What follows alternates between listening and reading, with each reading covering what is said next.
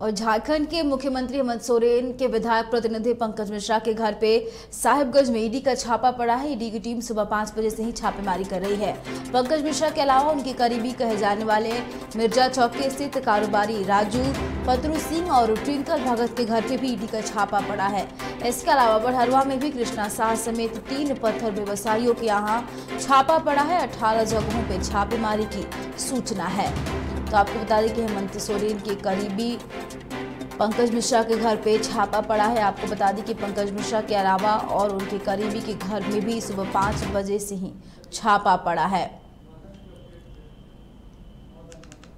और इसी खबर पे हमारे साथ और अधिक जानकारी के लिए फ़ोन लाइन पे संवाददाता मदन जुड़ चुके हैं। अ, मदन विधायक प्रतिनिधि पंकज मिश्रा के घर पे ईडी का छापा पड़ा है और क्या कुछ अपडेट है अभी तक का? बिल्कुल देखिए, इस वक्त की बड़ी खबर झारखंड के साहिबगंज ज़िले से आ रही है। और अगर कुल बात करें तो लगभग 18 जगहों पर ईडी की एक साथ दबिश हुई है। जो सूचना मिल रहा है, उसके तहत करीब पाँच बजे के सुबह में जो ईडी की टीम है, वो मुख्यमंत्री के जो विधायक प्रतिनिधि हैं, पंकज मिश्रा, उनके घर समेत जो उनकी करीबी हैं, उनके घरों पर छापेमारी चल रही है। तो यह तीसरी बार है जब एक साथ ईडी की इतनी बड़ी कार्रवाई हुई है। और कई जगहों पर एक साथ जो है छापेमारी चल रही है।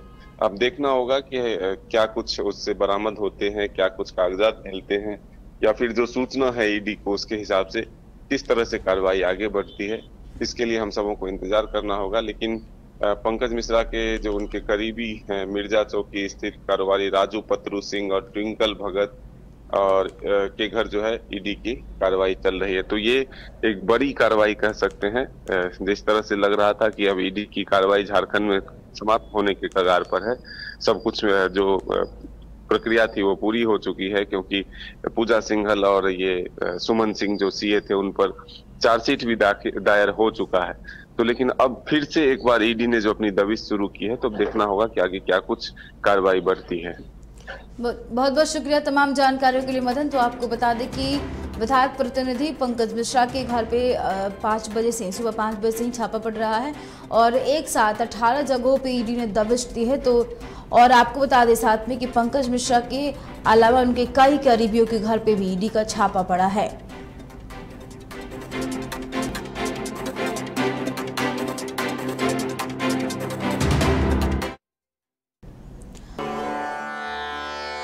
चार धामों में से एक रामेश्वरम धाम सहित तिरुपति बालाजी, कन्याकुमारी मदुरई माँ मीनाक्षी देवी और श्री मल्लिकार्जुन ज्योतिर्लिंग का सबसे कम दर पर सपरिवार दर्शन लाभ का अनुपम अवसर।